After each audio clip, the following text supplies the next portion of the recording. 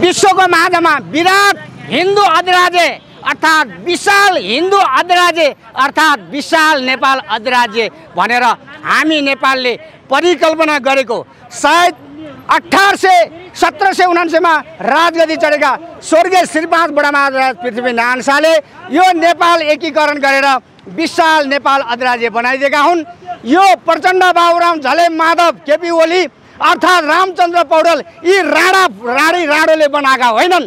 दुई कार्यकाल राम रामवरणले खायो दुई कार कार्यकाल विद्या भण्डारले खाए प्रचण्डहरूले दस वर्ष जनयुद्ध गर्दाखेरि जङ्गलमा जाँदाखेरि प्रचण्ड भनेको ज्ञानेन्द्रले चलाएको दरबारले चलाएको एजेन्ट हो है।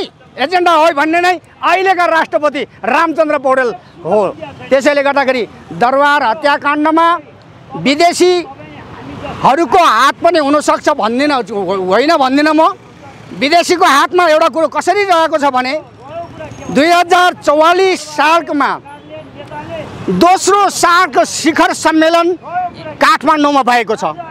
त्यो शिखर सम्मेलन पश्चात अर्थात् त्यही शिखर सम्मेलनमा भाग लिन आउँदा भारतीय प्रधानमन्त्री महामहिम प्रधानमन्त्री राजीव गान्धी उसको स्वास्नीलाई हामीले भित्र पशुपतिनाथभित्रमा छिर्न नदिए ऊ क्रिस्चियन हुन् ऊ इटालियनको केटी हुन् विदेशी हुन्। त्यसैले गर्दाखेरि हाम्रो पशुपतिनाथभित्रमा क्रिस्चियन मिसनहरू छिर्दैन। जहाँ मुस्लिमहरूले पनि आफ्नो ऊ मानिरहेको हुन्छन् भने मक्का र मदिनामा हिन्दूलाई लाँदैनन् भने लेप्चाहरू भनेको यो अमेरिकन युरोपियनहरूलाई कुहिरेहरूलाई विदेशीहरूलाई त्यहाँ लाँदैनन्। अनि तपाईँको के छ भने अहिले गणतन्त्र आएको पन्ध्रदेखि सोह्र सत्र वर्ष अठार बिर्सै वर्ष भयो होला। आज राजा वीरेन्द्रको वंशनाश भएको बाइसौँ वर्षको दिन त्यो राजा वीरेन्द्रको वंशनाश जसरी गरेको छ अब सत्तामा बस्ने प्रचण्ड पुष्पलाल दाल छविलाल दाल तिम्रो छोरा मरिसकेको छ तिम्रो स्वास्नी भित्ता हेर्न भइसकेको छ भने तिमीलेहरूले एमसिसी र एसपिपी पास गरेर खाने निर्णय पनि गर्यौ। त्यस पछाडि गएर बर्माको आङसाङ सूची र दक्षिण कोरियाको पूर्व राष्ट्रपति वान कि मुनको स्वास्नी यहाँ आएर होली वाइन बाँडेर जाँदा एक करोड डलर दिँदा केपी ओलीहरू प्रचण्ड बाबुरामहरू खुल्ला मञ्चमा आयोजना कार्यक्रम आयोजना गरेर त्यहाँ पैसा लिन जाने र गुरो मुद खाने गद्दार कुमाई र जैसी बाहुनहरू भने छेत्रीको कुल ढालेर आज राष्ट्रियता र स्वाधीनता अखण्डता भत्किसकाएर भत्काएर विदेशीको समप्रभुसत्तामा गुलामी गर्न जाँदैछ भने प्रचण्ड हिजो गिरिजाप्रसाद गो कोइरालाको गोटी हो भने तिस सालमा तिस लाख भारू लुट्दाखेरि त्यही तिस लाख भारूको पैसाले पटनामा हतियार लुकाएर राखेको थियो। त्यो जनवादी क्रान्ति होइन नौलो जनवाद ल्याउनु लागि क्रान्ति भएको होइन। नेपालमा चोर बाटोबाट विदेशी सम्प्रभुसत्ताले बोकाएर पठाएको गणतन्त्र र लोकतन्त्र चाहिँ ल्याएका हुन्। यो लोकतन्त्र मैले मानेको छुइनँ। यो गणतन्त्र मान्ने पक्षमा हामी यथार्थवादी नेपाली जनता छँदै नेपालको स्वाधीनता र अखण्डता र अस्मिता र स्वाभिमान र स्वावलम्बताभित्र नगएर विरोध के अरे अस्मिताभित्रमा विश्व ब्रह्माण्डको खगोलको एकात्मक प्रणालीभित्रमा सनातन त बोकेर बसेको छ भने यदि एसियामा लडाइँ भयो भने हामी संसार पलभरमा जलभित्र जान्छौँ। त्यसैले अमेरिका उसलाई म very very idiot master big terrorism in the world United State America you are not American you are very dangerous big terrorism in the world and to cross Asian country to fight other countries एटर and to other countries nation भने नेपाललाई सिद्ध्याउनको लागि झन्नै झन्नै साठीवटा राष्ट्रमध्येमा सबभन्दा बढी पैसा गर्ने खर्च गर्ने नर्वे।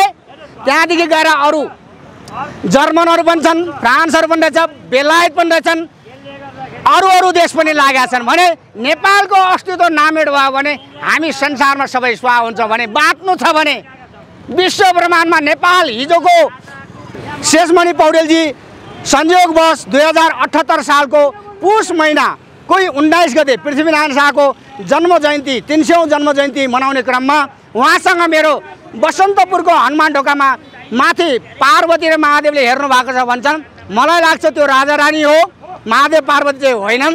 अर्थात् राजा रानी नै भन्नु नै महादेव पार्वती हो अर्थात् ब्रह्मा विष्णु महेश्वर भन्नु नै यिनै तिनै एउटै एक एक अरे एउटै देवता हुन्। तर उनको रचना लीला धेरै छन्। भने त्यहीँ बसेर मैले अठहत्तर साल पुस उन्नाइस गते ब्रह्म जानती ब्राह्मण दिज उचिते शूद्र संस्कारे। नजानती ब्राह्मण हुन्छ कि या ब्रह्म जानती ब्राह्मण हुन्छ भने सत्य त्रेता द्वापर कली चारै युग ठगेर खाने ब्रह्म कर्म गर्ने ब्राह्मणहरूले वेद पढ्ने उपनिषद पढ्ने ग्रन्थ पढ्ने कठोपनिषद पढ्ने भागवत पढाउने विद्या के अरे पुराणहरू सुनाउने रामायण सुनाउने ब्राह्मणहरू त अहिले त राजनीति गरेर कलीमा राक्षसीपना देखाएर हिँडेको छन्। त्यसैले स्वाधीनता बच्यो भने देश बच्यो भने अखण्डता बच्यो भने आज राजा छैनन्। तर पनि यहाँ टपरे बाहुनाले ठाउँ ठाउँमा यी ठेकदारी बाहुनाले सप्ताह र पुराण लाएर खाइरहेको छ। म त्यो लगाउनु हुँदैन भन्छु। किन भन्नुहुन्छ भने के अरे श्रीमद् भागवत गीतामा अठार अध्याय छ अठार हजार वर्ष लाग्छ।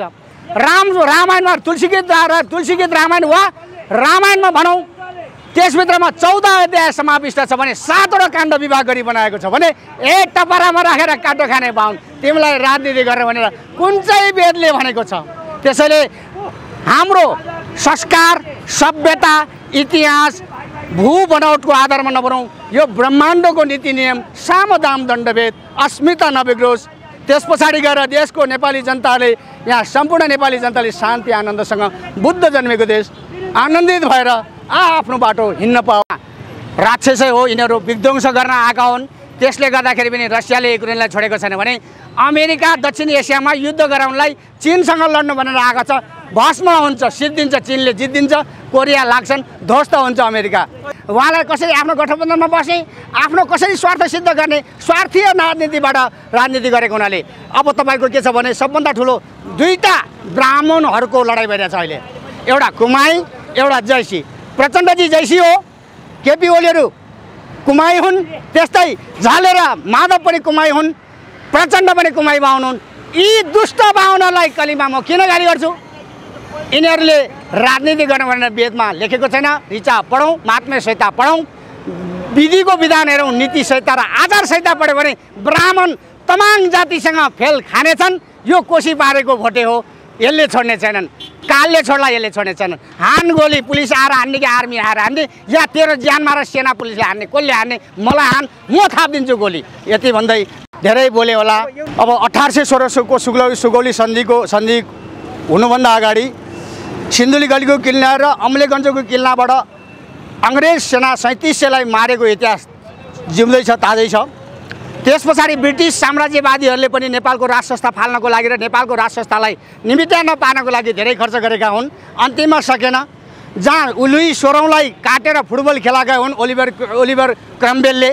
सोह्रौँ राज के अरे राजालाई बेलायतका भने पति एघार वर्षपछि फेरि त्यही सोह्रौँ राजाका सन्तानमा बेलायतकी महारानी एलिजाबेथ गालालाई किन प्रतिस्थापन गरियो भने अहिले नेपालको दरबार हत्याकाण्ड त भारतीय विस्तारवादी त सबभन्दा मिलेकै हुन्छ। ओ त इन्डिया माधुर चाहिँ त्यसै भने होइन। ऊ आमा पनि बाँकी राख्दैन छोरी द्वारी पनि बाँकी राख्दैन। त्यसैले हम माधुर जात कहेंगे तुमको। तुम सत्वा हो। तुमको आगे अगर कोई कटुआ बढ़ जाएगा सत्वा कुछ नहीं करेगा। युद्ध हो जाएगा संसार ध्वस्त हो जाएगा। तर नेपालको अस्मिता र अखण्डतामा नेपालको राज संस्थालाई जुन विस्थापत जुन विधिवत मारियो घटना घटाइयो यो चौवालिस सालको एउटा सानो अवस्था भारतीय प्रधानमन्त्री राजीव गान्धीको स्वास्नीलाई पचपन्नभित्रमा छिर्न नदिएको एउटा रिस चाहिँ हुनसक्छ। तर नेपाली सेनाका सेनाका तिनवटा गण थिए त्यहाँ शेरगण शमशेर दल सिंहनाथ गण थिए। त्यसभित्रको ब्रिगेडियर रोडमा तिनवटा व्यक्ति हेर्नुहोस् गेहेन्द्र बोहरा पूर्व मोतीलाल बोहराको आइजिपीको छोरा अर्को राजबहादुर खड्का अर्को एउटा के भन्ने एडेसी छन्। त्यो एडेसीहरू अहिले अस्ट्रेलियामा लुकेर बसिरहेको छ कि फ्रान्सतिर छ कि बेलायततिर छ कि जर्मनतिर छ मलाई थाहा छैन। जे होस् रातदर र हत्याकाण्ड गराउँदाखेरि सेनाको ठुलो हात छ। यो एउटा पैसाको हात त गरिहाल्यो नि सेनाले लिइहाल्यो नि। त्यस पछाडि गएर प्याराजङ थापाले यसमा मेरो हाम्रो नेपाली सेनाको हात छैन भनेर बोलेको थियो। उहाँ प्रज्वल शमशेरभन्दा पछाडि भएको सेनापति हो। ऊभन्दा अगाडिकै कालमा घट्नेको घटना हुनाले प्रज्वल शमशेर ल्याएर समात्ने बित्तिकै नाङ्गो झार भइहाल्छ नि बेथा र कथा। किन तिनमरी रौँ र बेथा केलाउने? हामी जनता हौँ हामी नागरिक हौँ हामीले त बोल्छ भन्ने कुरो थाहा छ। दरबार हत्याकाण्डमा यहाँभित्रकै international Interpol with all of person have to been go to connecting and they have do this thing यस यो घटना यसरी घटेको त्यो राजा वीरेन्द्रको वंशनाश जसरी गरेको छ अब सत्तामा बस्ने प्रचण्ड पुष्पलाल दाल छविलाल दाल तिम्रो छोरा मरिसकेको छ तिम्रो स्वास्नी भित्ता हेर्न भइसकेको छ भने तिमीलेहरूले एमसिसी र एसपिपी पास गरेर खाने निर्णय पनि गर्यौ। त्यस पछाडि गएर बर्माको आङसाङ सुची र दक्षिण कोरियाको पूर्व राष्ट्रपति वान कि मुनको स्वास्नी यहाँ आएर होली वाइन बाँडेर जाँदा एक करोड डलर दिँदा केपी ओलीहरू प्रचण्ड बाबुरामहरू खुल्ला मञ्चमा आयोजना कार्यक्रम आयोजना गरेर त्यहाँ पैसा लिन जाने र मुद खाने गद्दार कुमाएर जैसी बाहुनहरू भने छेत्रीको कुल ढालेर आज राष्ट्रियता र स्वाधीनता अखण्डता भत्किसकाएर भत्काएर विदेशीको सम्प्रभुषतामा गुलामी गर्न जाँदैछ भने प्रचण्ड हिजो गिरिजा प्रसाद गो कोइरालाको गोटी हो भने तिस सालमा तिस लाख भारू लुट्दाखेरि यो संविधान र यो व्यवस्था हुन्जेली नेपाल रहँदैन। अब यसलाई फ्याँक्नुपर्छ। फ्याँक्ने कुरा मात्रै गर्छु म। हरेक दस वर्षमा नेपालमा राजनीति परिवर्तन भएको छ। अब निकटमा इतिहास झुटा हुँदैन। तर हामीहरूले केही नगरिकन हुँदैन त पनि। अब केही गर्ने फर्मुला मात्रै भन्छु म। हामी जम्मै यो व्यवस्थाका विरोधीहरू एक ठाउँमा बसौँ सक्छौँ आफ्नो पार्टी खोलेर बसौँ तिनीहरूको एउटा मोर्चा बनाऊ यिनीहरूले पनि आठ दलीय बनाए जस्तो मोर्चा बनाऊ। यहाँबाट मुङलिनसँगै जाउँ मुङलिनबाट कोही पोखरा जाउँला कोही नारायणगढ जाउँला यो व्यवस्था फ्याँकिएपछि अब आफ्नो बाटो लागौँ। र जो यो सिद्धान्तमा हिँड्दैन त्यो चाहिँ यो व्यवस्थाको समर्थक हो। यहाँभित्र छिरेर तिनीहरूलाई सहयोग गर्छ। त्यसलाई पहिले नङ्ग्याउँ। एक नभइकन यो व्यवस्था जाँदैन। यो व्यवस्था नजाउन्जेली नेपाल रहँदैन। हाम्रा छोरा नाति जम्मै दिनको पाँच हजार एयरपोर्टबाट उड्छन् त्यो जम्मैलाई थाहा छ। अब हामी जो जो बुद्धिजीवी छौँ लेख्न सक्नेले लेखेर समर्थन गरौँ बोल्न सक्नेले बोलेर समर्थन गरौँ सडकमा आउन सक्नेले सडकमा आएर समर्थन गरौँ। र त्यसको एउटा गन्तव्य तय गरौँ फेरि। अनिश्चित गन्तव्यमा कोही पनि हिँड्दैन। मैले देखेको यो संविधान खारिज गरेर हामी सत्तालिस सालमा जानुपर्छ। किन सत्तालिस साल? सत्तालिस सालमा बनेको संविधानको एकाउन्न सालमा दस प्रतिशत आर्थिक वृद्धि दर दिएको थियो। त्यो माओवादीको निर्मल लामाले पनि बनाएको काङ्ग्रेसले पनि बनाएको एमाले पनि बनाएको। त्यो सत्तालिस सालको संविधानमा काङ्ग्रेसका माओवादीका र एमालेका मान्छे पनि समर्थनमा छन्। त्यो मात्रै गन्तव्य हो। हामी यो संविधान फ्याँकेपछि अर्को संविधान बनाउने हामीसित हैसियत छैन। अब फेरि राजाले दिएको संविधान जनताले मान्दैनन्। फेरि हामी चाहिँ गोलचक्कर यो संविधान सभा र गोलमेजतिर लागेर दस वर्ष हामी बर्बाद नगरौँ। यो व्यवस्था फ्याँक्नु मन्त्री परिषद खुला मञ्चबाट घोषणा गरौँ। जनताले लगेर कुर्सीबाट राखिदिन्छन् सिंहदरबारमा। एउटा सशक्त आयोग बनाऊ। राजनीतिज्ञको हरेकको एक्सराई गरौँ। कगजको पेटमा कालो छ। ती कालोलाई थन्काइदिउँ। छ महिनामा चुनाव गरौँ। अनि देश सिस्टममा हिँडिहाल्छ नि। ठुलो समस्यै छैन। तर हाम्रो हामी हाम्रैमा समस्या छौँ। कसैलाई केही कसैको सास गनाउँछ। कसैको जिउ गनाउँछ। यहाँ मुङ्सिर सात गते आन्दोलन छ कोही मान्छे बिर्गन जान्छ। कसैको हल्दीमा मन्त्री परिषदको लिस्ट छ। कोही मलाई प्रधानमन्त्री बनाइदिए भनेर हिँडेका छ। बिहे गर्नु कहिले कहिले अहिले कोक्रो भनेर हिँडेका छन् हाम्रा साथीभाइहरू। त्यस्ता मान्छेलाई कृपया सामेल नगरौँ। तिनलाई हामी नङ्ग्याउँ। जे व्यवस्था आयो पनि त्यस्तै मान्छे आउनुपर्ने। पञ्चायत आयो तिनै आउने। काङ्ग्रेस आयो काङ्ग्रेसैमा जानुपर्ने। अनि फेरि राजाको मन्त्री हुनैपर्ने अनि फेरि यो व्यवस्था जान आँट्नु मलाई पो बनाउनुपर्छ त। म प्रधानमन्त्री। मैले राजीनामा दिएको थिएँ। कति कति बेच्नुहुन्छ त्यो राजीनामा? त्यसैले मैले देखेको अरू केही विषयमा छलफल नगरौँ। हामी एक कसरी हुने? राप्रपालाई ल्याउँ। त्यसपछि केशरबहादुरलाई ल्याउँ। राप्रपा नेपाललाई ल्याउँ। दुर्गा प्रसाईलाई ल्याउँ। हामी जस्ता मान्छे पनि आउँ। सक्छौँ कुनै पार्टीमा घुस्र्यौँ नसक्ने हो भने हामी स्वतन्त्र रूपले सहयोग गरौँ। त्यो बाहेक अर्को कुनै विकल्प छैन। अरू इतिहास म कहाँ जन्मेँ के गरेँ कहाँ कहाँ के के गरेका थियो यो अहिले हाम्रो सरोकारका कुरा होइन। त्यसैले मेरो निवेदन गराए ठ्याक्कै रोड उसमा गन्तव्यमा जाउँ। फागुन एकमा गर्नै पर्छ आन्दोलन। कतिवटाले घोषणा गरे अब जो आन्दोलनमा जान्छ अग्रगन्तीमा बस्नुपर्छ है फेरि। घरमा बसेर आन्दोलनको समर्थन गरेर परिवर्तन भएपछि मन्त्री खान चाहिँ जान पाइँदैन। अग्रपन्थीमा बस्नुपर्छ अग्रपन्थीमा बसेपछि कि मर्छ कि मन्त्री हुन्छ।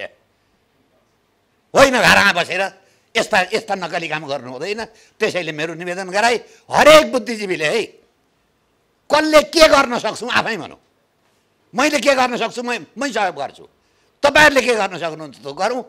अब यो एक यही असीभित्रमा यो संविधान नफ्याँक्ने हो भने कि हामी सिक्किम हुन्छौँ कि अफगानिस्तान हुन्छौँ कि युक्रेन हुन्छौँ यिनीहरू आफै डराइसकेका छन्। तर दुर्भाग्य के हो भने हामी एक हुन सक्यौँ हिजो टाउकाको मूल तोपिनेर मूल तोकिने एक ठाउँ बस्न सक्छन्। बाउ छोरा जस्ता छन् अहिले। हाम्रो बिचमा के विवाद छ? एउटै मन्दिर मण्डलमा केशर बहादुर र कमल थापा बस्न सक्छन्। तर उनीहरू एक ठाउँ बस्न सक्दैनन्। के हो यसको पछाडि कारण? त्यो कारण हामीहरूले खोज्नुपर्छ। जो एक ठाउँ बस्दैन त्यसलाई नुङ्ग्याउनुपर्छ। र फागुन एक गतेबाट हरेकले घोषणा गरौँ। तर एक ठाउँ बसेर गरौँ र यसलाई विदा गर्नुपर्छ। धन्यवाद। कुनै दलीय पत्रकार कहिले भएन र मलाई पटक पटक आमन्त्रण गरिएको छ विभिन्न दलबाट। र म चाहिँ पत्रकार रहिन्जेल दलीय राजनीति कहिले नगर्ने भन्दै आएको यही पढाउँदै आयो यही अभ्यास गराउँदै आयो त्यो अरू मैले पटक पटक यहीँ उपस्थित हुने मित्रहरूलाई पनि योभन्दा अगाडिका वर्षहरूमा भनेको छु कि यहाँहरूले आयोजना गरेको मिटिङमा आउँछु। टिप्पणी गर्छु उपस्थिति हुन्छु यहाँहरूको एउटा योजना छ भने त्यसलाई आलोचनात्मक टिप्पणी पनि गर्छु। म पछि हट्दिनँ। तर सहयोग पनि गर्छु। चन्दा कसैले दिने भए मेरो सक्ने केही रहेछ पनि दिन्छु। तर म पत्रकार जुन दिन यहाँहरूको आन्दोलनमा सदस्य नै भएर समावेश हुन्छु त्यस दिन पत्रकार महासङ्घलाई पनि जानकारी दिन्छु। सूचना विभागमा मेरो फ्रिलान्सर जर्नलिस्ट। अहिलेसम्म वर्षको सयवटा भन्दा कम लेख लेखेको छैन फेरि। पारिश्रमिक लिएरै नै लेखेको छु। त्यो बुझाएर अनि म आउँछु। यति भन्दै राज संस्था मेरो मुलुकको लागि आवश्यकता राजा ज्ञानेन्द्रले पहिलो पत्रकार भेटेको। मलाई नै हो। दुई मिनट गयो एक मिनट कृपया लिन्छु। त्यसै बेला मैले नेपालको लागि राज संस्था हो। राज संस्थाको लागि नेपाल होइन भने हो। नेपालको स्थायित्वको लागि स्थायी नेपाल होस् र स्वाभिमानी नेपाली नेपाली बनुन् भनेर। नत्र विदेशी हस्तक्षेप हरेक ठाउँमा हुँदै गयो। त्यस कारणले आज विदेश नीति हाम्रो हातमा छैन। ठुल्ठुला उद्योग नीति गर्नु पऱ्यो भने जम्मै दक्षिणबाट आएको हुन्छ। त्यसकारण हामी नेपाली रहेनौँ नाममा मात्र रह्यौँ त्यो बचाउनुको लागि बाध्यकारी स्थिति भएकोले राज संस्था अनिवार्य।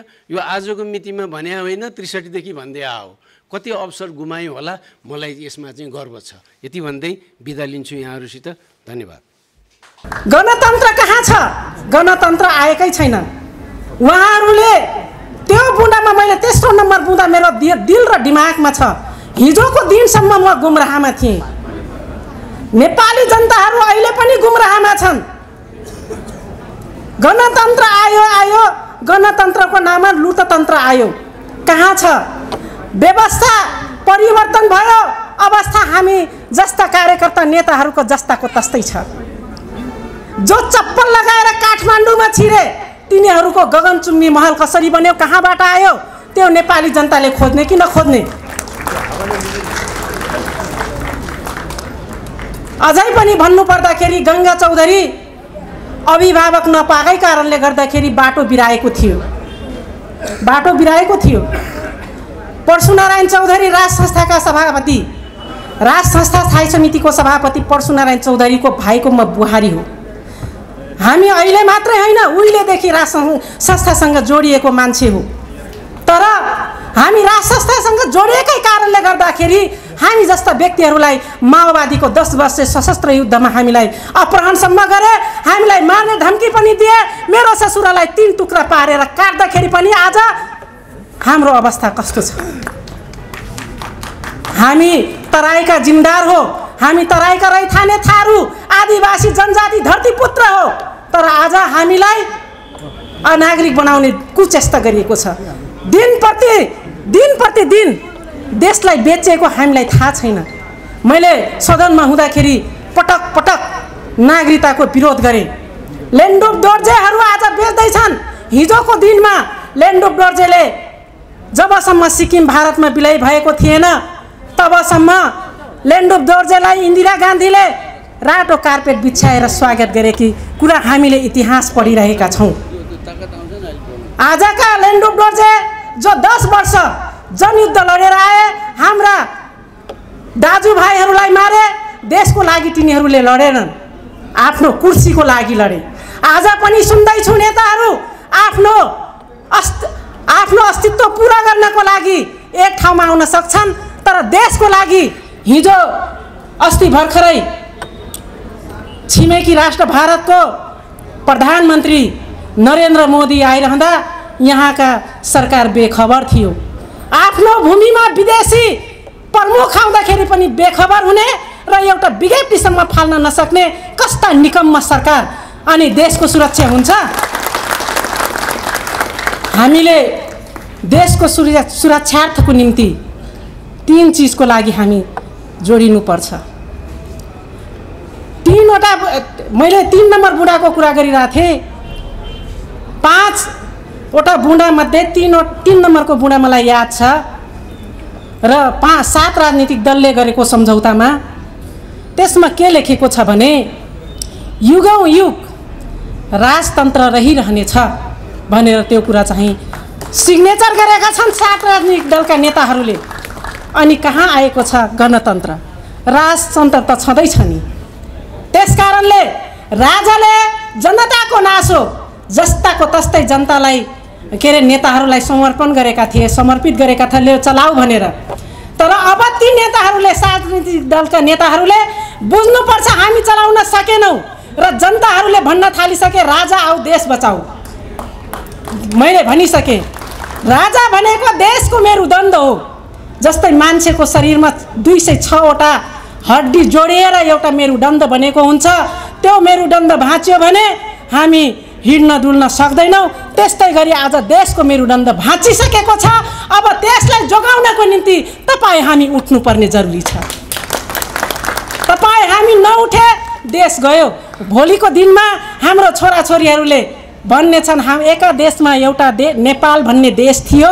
त्यो देशको बासिन्दाहरूले नेपाल देशलाई जोगाउन सकेनन् भनेर हाम्रा छोराछोरीहरूले ढिक्कार्ने छन् त्यस कारणले त्यो देश जोगाउनको निम्ति पनि हामीले उठ्नुपर्ने जरुरी छ। त्यस कारणले गङ्गा चौधरी आज राष्ट्रिय शक्ति नेपालसँग जोडिन पुगेको छ। गङ्गा चौधरीलाई एमाले कारबाही गर्यो त मलाई घरबाट निकाल्न सक्नु पर्यो नि? नेपाल देशबाट निकाल्न सक्नु पर्यो नि?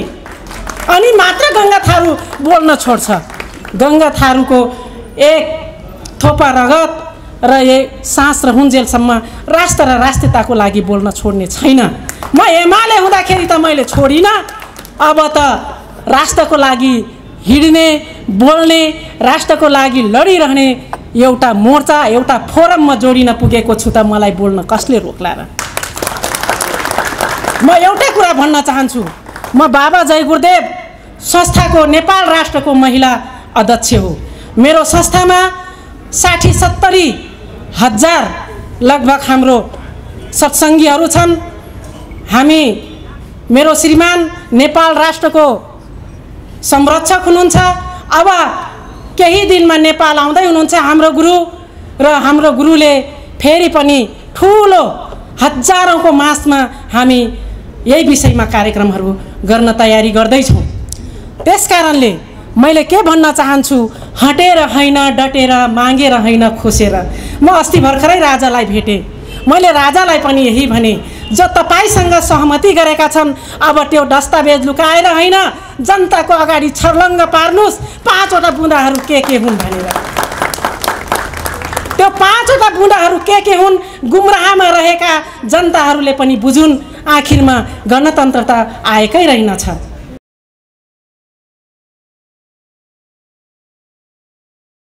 विश्लेषक श्यामबहादुर बस्नेत हुनुहुन्छ। उहाँसँग हामी यी समसामयिक विषयमा केन्द्रित रहेर संवाद गर्दैछौँ। सबभन्दा पहिले म चुरो बहसमा श्यामबहादुर बस्नेतलाई स्वागत गर्छु। यहाँलाई चुरो बहसमा हार्दिक स्वागत। धन्यवाद। के लागिरहेछ यहाँलाई देशको अवस्था हेर्दा? यहाँहरूले धेरै भविष्यवाणी गर्नुभयो। वर्षौँदेखि हामीले सोधेको सोधै गऱ्यौँ। यहाँहरू बोलेको बोलै गर्नुभयो। आजै भइहाल्छ भोलि भइहाल्छ परिवर्तन भइहाल्यो युवाको हातमा गइहाल्यो।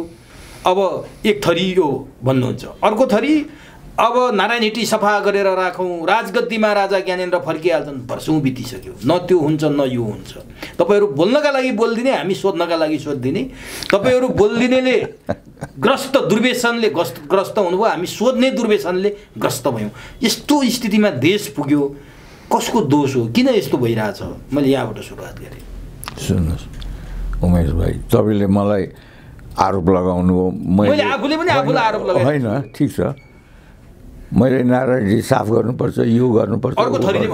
कहिले कहिले मैले चाहिँ भन्ने गरेको छैन। हो युवाले चाहिँ लाई चाहिँ ल्यायो भनेदेखि केही गर्छ भन्ने जुन थियो त्यसबाट म पनि निराश छु किनभने एक वर्ष नागिसक्यो। होइन? जनताले युवा त पठाएकै छ नि त संसदमा। नयाँ पार्टी पनि आएका छन्। अरू पार्टीका पनि युवाहरूलाई जिताएको छन् जस्तो कङ्ग्रेसको प्रदीप पौडेलले हेभी वेट एमालेको हेभी वेटलाई हराएको छ। त्यस्तै एमालेकाले पनि कङ्ग्रेसका र माओवादीका हेभी गठबन्धनका हेभी वेट हराएका छन्। तर के रहेछ? मैले देख्दाखेरि भने यो भ्याक्युममा तपाईँलाई जबसम्म पुरा फोर्सले चाहिँ हावा छिर्दैन या ग्यास छिर्दैन भने त्यसले परिवर्तन ल्याउँदो रहेछ। फोर्स भनेको चिज त एक करोड त बाहिरै रहेछन् नि हाम्रो। हामी यहाँ भएकाबाट बाट चाहिँ हामीले टिपेर चाहिँ पठाउँदो रहेछौँ ती बिचरा त्यत्रो ठुलो भ्याकुम तिन करोडको भ्याकुमलाई तिनीहरूले सम्हाल्न सकेन। त्यही भ्याकुमभित्र नै उनीहरू पनि हराएर चाहिँ बिलाए क्या। त्यो उनीहरू बिला उनीहरूको कारणले हाम्रो कारणले होइन। हेर्नुहोस्। हाम्रो स्ट्रेङ्थ कम कमसेकम पनि तपाईँकै इन्टरभ्यूमा मैले भनेको छु चालिस पैँतालिसजना युवा चाहिँ पक्कै पनि छन् अहिले यो हाउसमा जो चाहिँ स्वतन्त्र रूपले बोल्न सक्छन् त्यो बोलिराखेका छैनन्। अनि त्यो बोल्न त कसैले रोकेका छैन नि त। कहिलेकाहीँ फ्याट्टाफुट्ट बोलेको सुनिन्छ। आज सडक तताउने पर्ने त तिनीहरूले तताउनु पर्ने हो नि त। आज हेर्नुहोस् त सिद्धिएको इन्डियाको कङ्ग्रेस आई। राहुल गान्धी अहिले न्याय यात्रा भनेर चाहिँ एक कोणबाट अर्को कोण इन्डियामा हिँड हिँड्दैछ। पहिले पनि भारत जोडो भनेर एक कोणबाट अर्को कोण हिँड्यो। हाम्रा पनि ओलीजीले त मेचीदेखि महाकालीसम्म त हिँड्नुभयो नि त माथिल्लो। रवि लामी छाने बुटवलदेखि नारायण घाटसम्म पैदल हिँडे। होइन। जनतालाई जागृत गराउने चिज के भयो भन्नुहोस् न। जनता भोको छ। त्यो भोको जनताले उसको आवाज कसरी निक्लिन्छ मुखबाट? ताली कसरी पिट्छ? ताकत त चाहियो होला नि एनर्जी।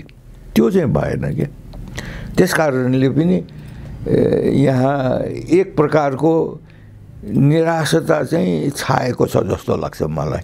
है त्यसैको प्रकट तपाईँको क्वेसनबाट पनि त्यही चिज देखिन्छ।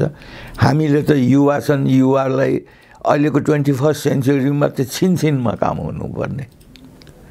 तपाईँले बटन दबाए कि एउटा चिज गर्न सक्नुहुन्छ। आज तपाईँले मसँग यहाँ इन्टरभ्यू लिँदै हुनुहुन्छ यसलाई लाइभ गरिदिनु भयो भने साढे सात अरब मान्छेले हेर्न सक्छ चाह्यो भनेर भने त्यो जमानामा चौरासी पर्खिने या एक वर्ष अरू पर्खिने त्यो यो ट्वेन्टी फर्स्ट सेन्चुरी त्यो नै होइन भने यो सुपर यो स्पिडमा हिँड्ने जमाना हो यहाँ। जसले यो सुपर स्पिडमा हिँडेन त्यो त पछाडि पऱ्यो पऱ्यो त्यो छुट्यो। तपाईँले युवाको कुरा गर्दाखेरि युवा उमेरले हुने हो कि युवा विचारले हुने हो। त्यो महत्त्वपूर्ण छ। तपाईँ अहिले जसरी भक्तपुरबाट यहाँसम्म आएर अन्तर्वार्ता दिन तल्लीन हुनुभएको छ केही युवाहरू त दुर्व्यसनीमा लागेका छन् नराम्रो काममा लागेका छन् उनलाई यो चासो पनि छैन। तपाईँको उमेर भन्यो भने युवा उमेर होइन। युवा विचारले हो अथवा उमेरले हो। तपाईँले युवा देखेकाहरू वैचारिक रूपमा चाहिँ सक्सेस हुन सकेनन् सफल हुन सकेनन्। युवा मात्रै भएर हुन्छ कि युवा विचार चाहिन्छ। सुन्नुहोस् अघि अनुभव।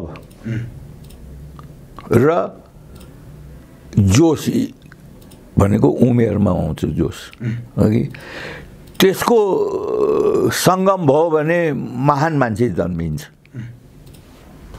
बुझ्नु भएन? त्यो दुइटाको चाहिँ एमल्गमेसन या मिश्रण भएन भनेदेखि त्यो मान्छे महान हुन सक्दैन। तपाईँसँग अनुभव मात्रै छ। तर तपाईँसँग जोस छैन भनेर भने त्यो पनि काम लागेन। तपाईँसँग जोस मात्रै छ अनुभव छैन भने त्यो पनि काम लागेन। हेर्नुहोस् न अहिलेका हाम्रा युवाहरूसँग जोस चाहिँ छ देखिन्छ।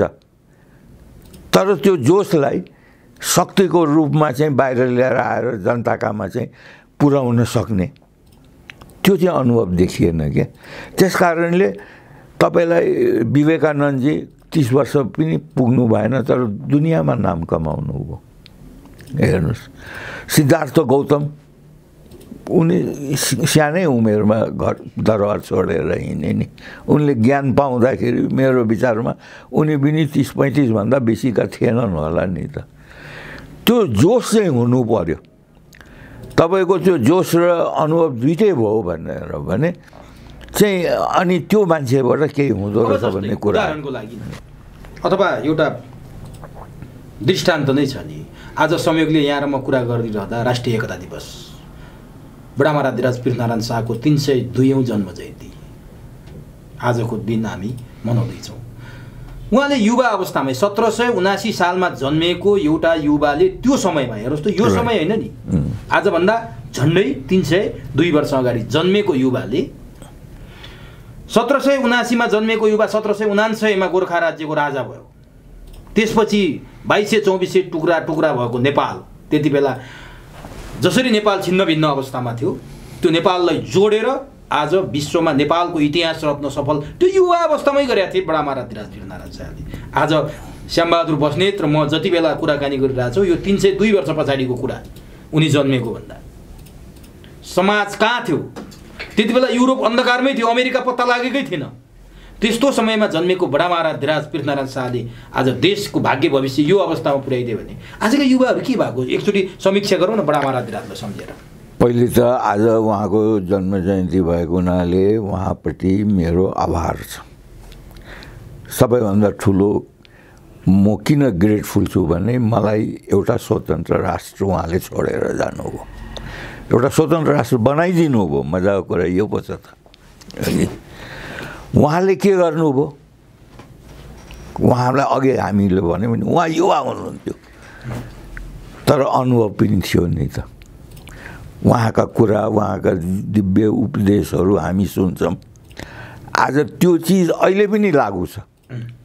मजाको कुरा यो पो छ त। हेर्नुहोस् त।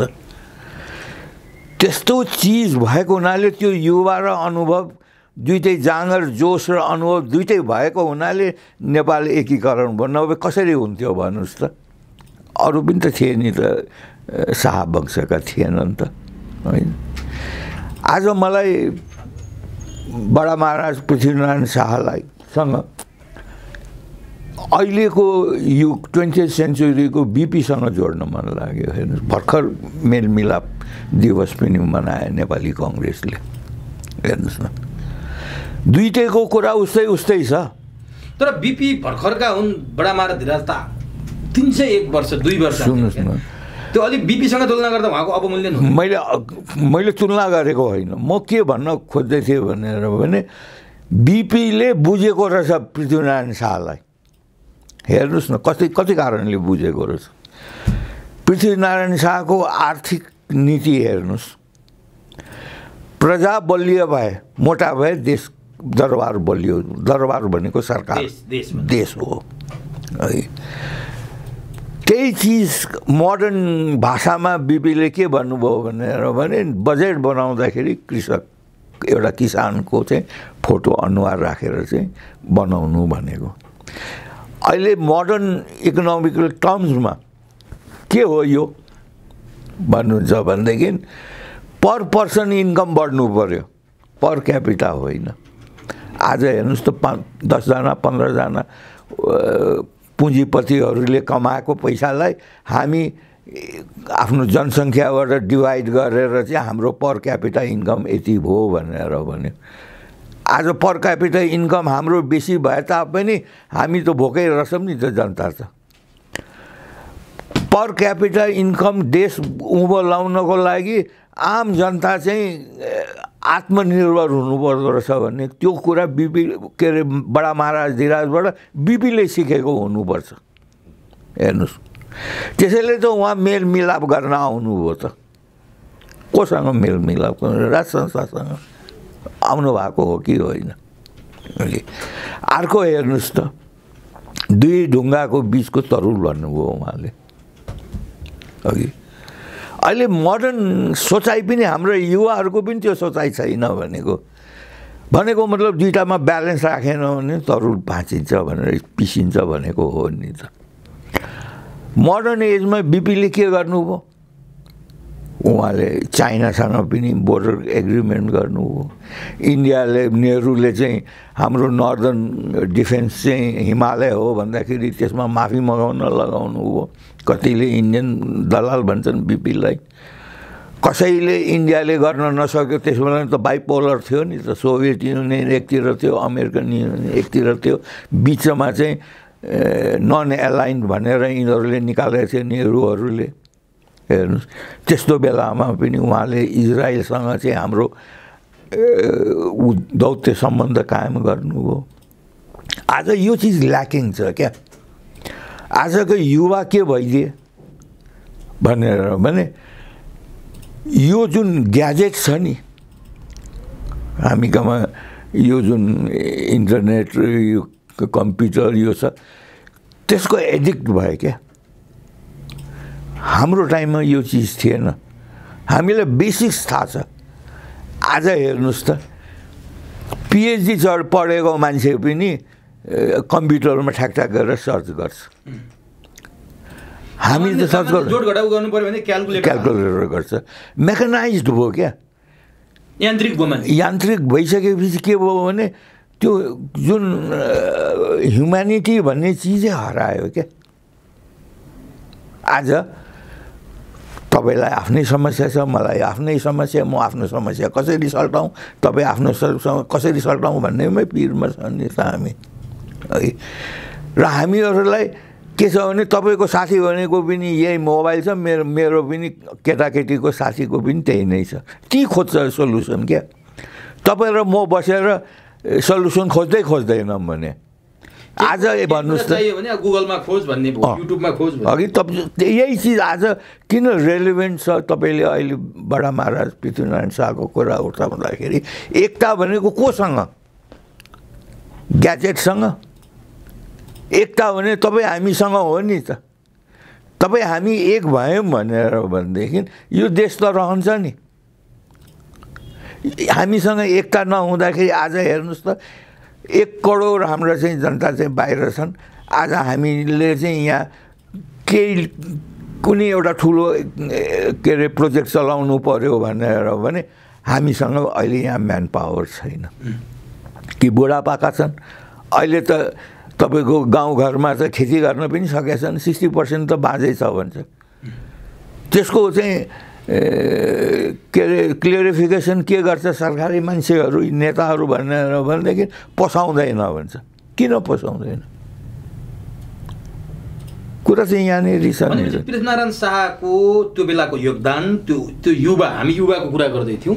त्यो युवा उमेरमा उहाँले जुन सोच राखेर नेपाललाई एक बनाउने एउटा अभियान थाल्नुभयो र इस्ट इन्डिया कम्पनी तत्कालीन उसले चाहिँ सूर्य नअस्ताउने उसको परिचय थियो। त्यसले चाहेको भए नेपाल खान सक्थ्यो त्यो त्यो वीरतापूर्वक लडेर पृथ्वीनारायण शाहले जोगाउनु भयो नि आजको दिनमा ब्रह्मारा धिराज पृथ्वीनारायण शाहका हामी दिव्य उपदेश भनेर पढ्छौँ।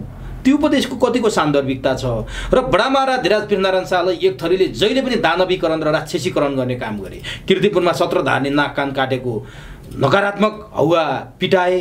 अहिले पनि एक थरी हामी बहुसङ्ख्यक नेपाली राष्ट्रिय एकता दिवस मनाउँछौँ नेपाली मनाउँछौँ तर मुठीभरका केही मान्छेहरू पृथ्वीनारायण शाहको फोटोमा थुक्छन् उहाँ विरुद्ध घृणा फैलाउँछन्। यसको लागि चाहिँ माओवादी जनयुद्धले दस वर्षको जुन नेपालमा कत्लेआम गर्ने काम गर्यो त्यति बेला पृथ्वीनारायण शाहका शालिग राजा महाराजाहरूका शालिग ढाल्ने लतार्ने पछार्ने काम गरे नि। यो किन यस्तो भइरहेछ? तपाईँले जसरी पृथ्वीनारायण शाह बुझ्नुभयो नि समग्र देशले किन बुझ्न सकेन? यो राक्षसीकरण किन? होइन यो तपाईँलाई भनिहालेँ नि मान्छेले आफ्नो दिमाग युज गर्न छोड्यो विवेक हराइसक्यो सबै मेकनाइज भइसक्यो। हेर्नुहोस् न गाली पनि तपाईँ त्यहीबाट खोज्नुहुन्छ। कुन चाहिँ बेकुफले चाहिँ गाली गराएछ त्यसैलाई तपाईँ ट्रोल गर्नुहुन्छ। कसैले मलाई ट्रोल गर्छ कसैले तपाईँलाई ट्रोल गर्छ। त्यो ट्रोल गर्नुको के अर्थ भने तपाईँ हेर्नुहोस् न तर मूर्ख नकारात्मक हौवा किन पिटाइयो भन्दैछु क्या म? यो के छ भनेदेखि जसको हविगत हुँदैन नि ल्याकत हुँदैन क्यालिबर हुँदैन केपेबिलिटी हुँदैन त्यस्तो मान्छेले बेसी आवाज दिन्छ क्या कराउँछ। रित्तो भाँडो धेरै होइन? हो त नि। सही कुरा हो नि त्यो चिज। आज भन्नुहोस् त। आज पृथ्वीनारायण शाहको कुरा मान्ने हो भनेर भने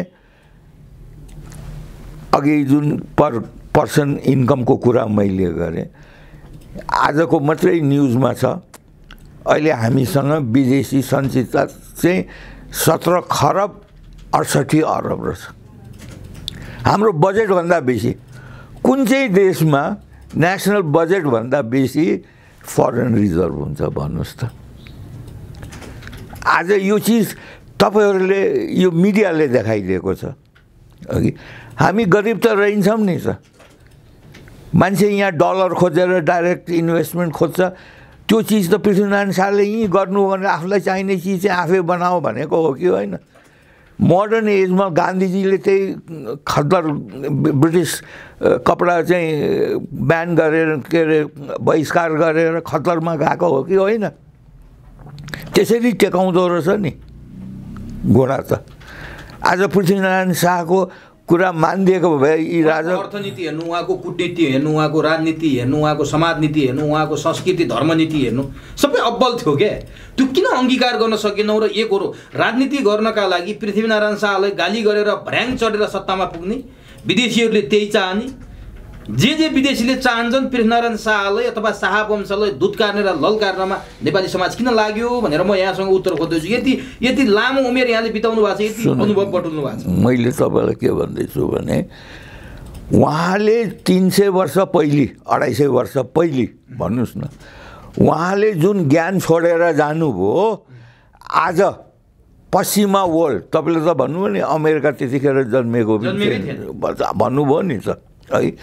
पश्चिमा वर्ल्डले त्यसलाई भर्खर बुझ्दैछ जुन कुरा पृथ्वीनारायण शाहले उति बेला। हो त्यसैले त हाम्रो समाज सनातनी समाज जुन चाहिँ छ हामी त्यतिखेर नै हामी ज्ञानको भण्डार त हामीसँग रहेछ नि त। यहीँनिर म यहाँसँग प्रश्न के जान्न चाहन्छु भने हामीले आफूसँग भएको कस्तुरी किन देखेनौँ?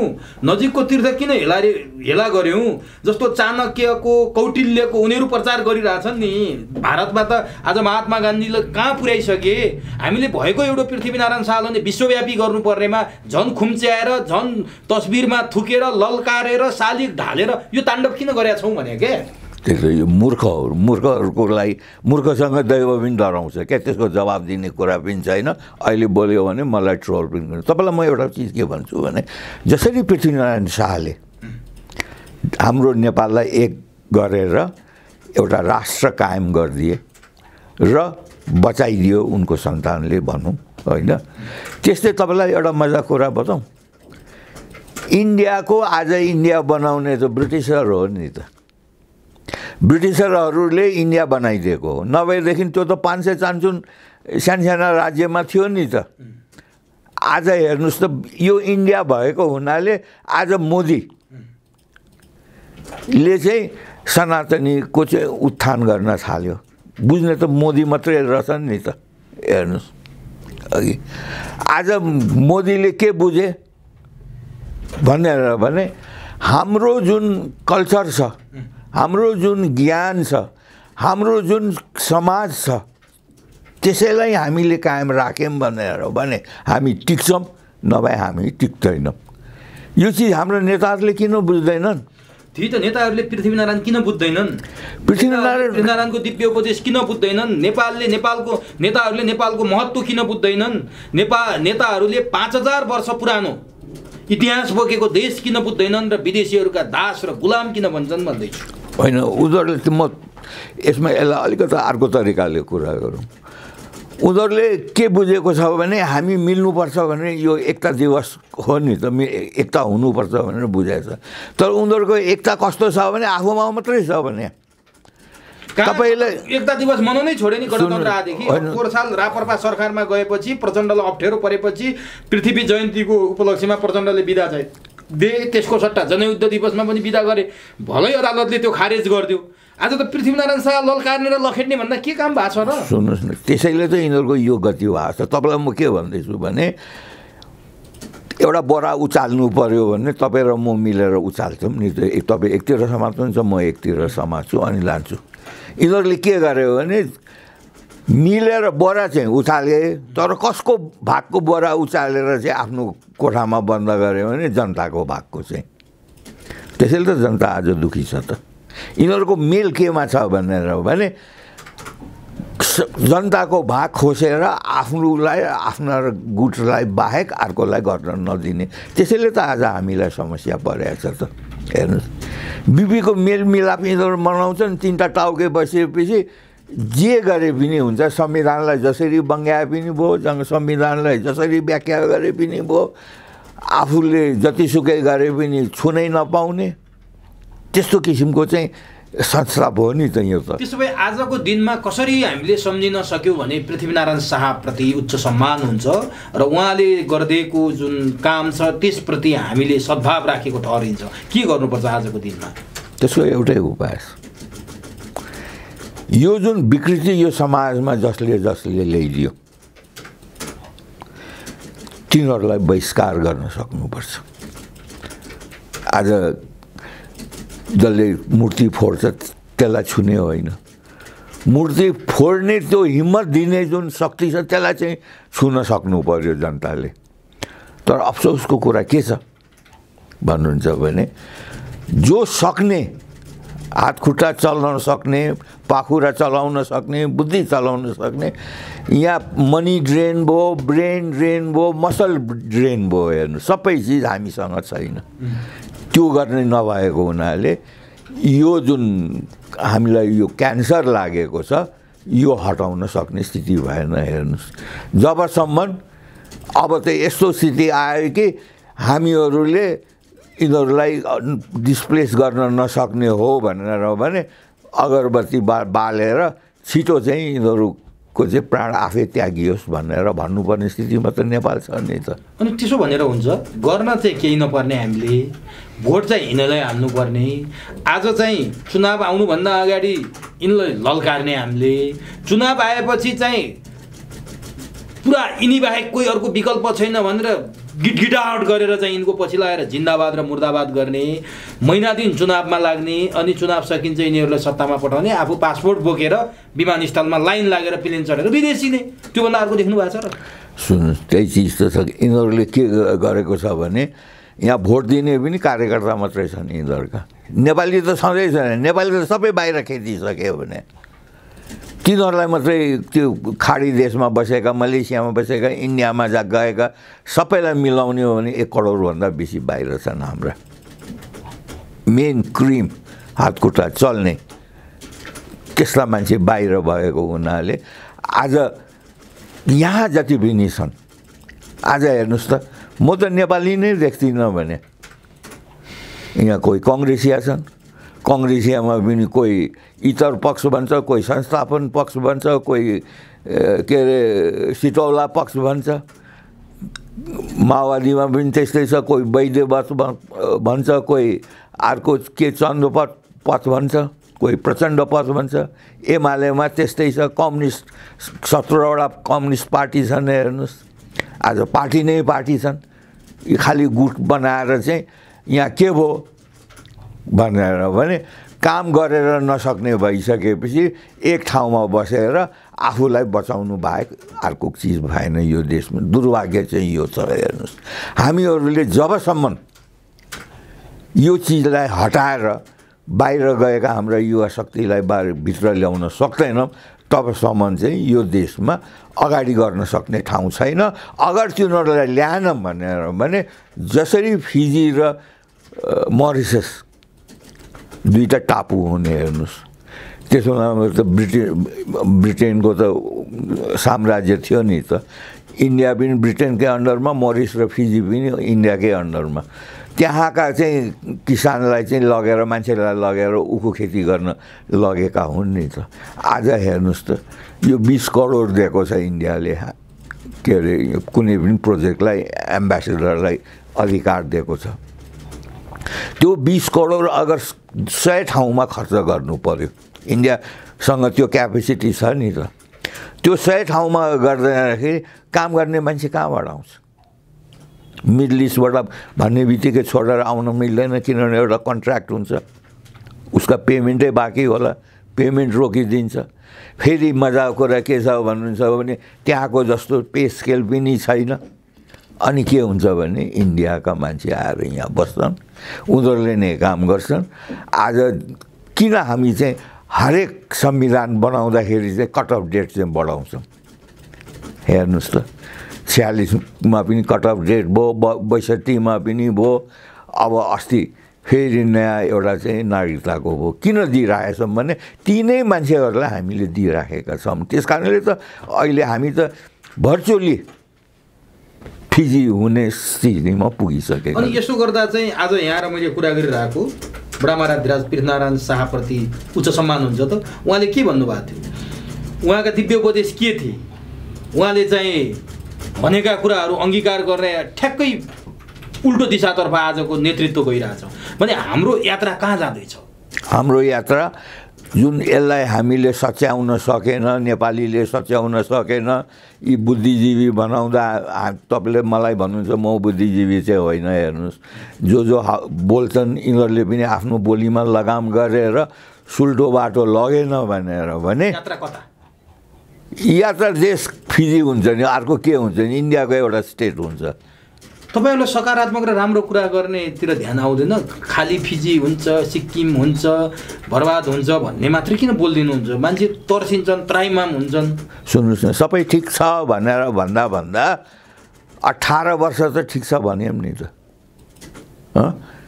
यिनीहरूले गर्छन् गर्छन् चुप लाग चुप लाग भन्दा भन्दा देश खाली भइसक्यो।